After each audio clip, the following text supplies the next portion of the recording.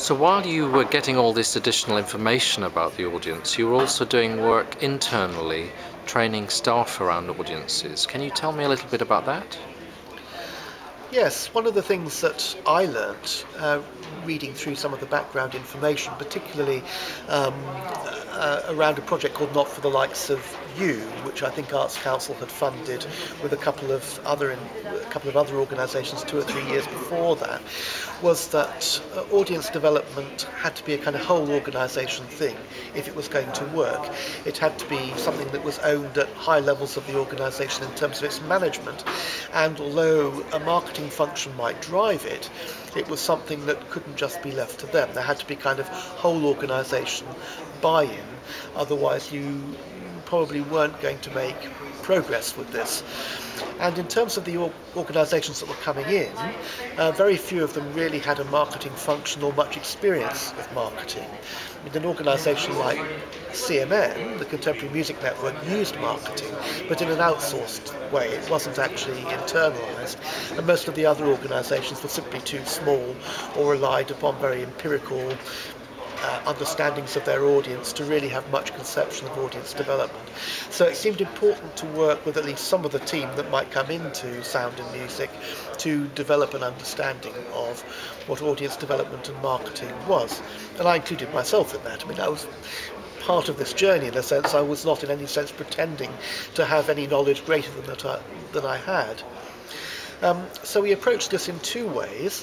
One was that I established a working group from within the staffs of the organisations that were involved in that point to discuss this issue, to look at some of the key um, literature that was around on this area, and then go out and do consultations with some organisations that we felt might be doing audience development well or that we could learn from.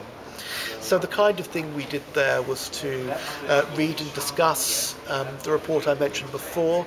We also looked at um, Charles Leadbeater's 10 Challenges for Arts Organisations, which had a lot of very helpful and indicative remarks about audience in it, particularly the way that the audience was changing and developing and how important it was for arts organisations to move with that also looking at John Knell's very interesting viewpoint on the participative audience and the new demands audiences might be making to actually become part of the picture, a player within the programme rather than simply a passive participant of what was put on.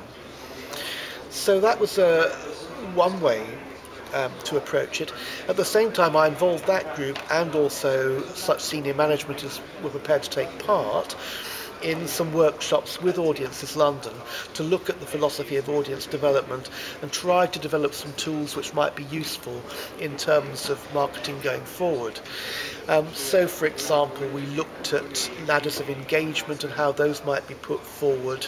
We started to think about how we might do some kind of segmentation for our audience based on the research that we'd done.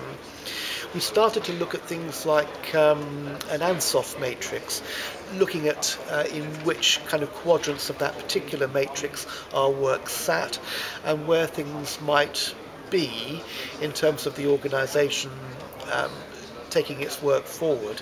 Because we had a particular challenge there, we had a lot of established lines of programming that were in one particular area, but we might, we might want to look at entirely new audiences and diversify our work. So where should the balance lie within that for the organisation not to try and do too much that was new and retain its existing audience?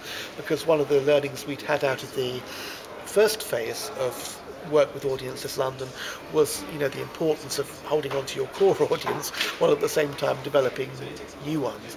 Those music professionals and their needs were important for us as well as the other people we were starting to come into contact with.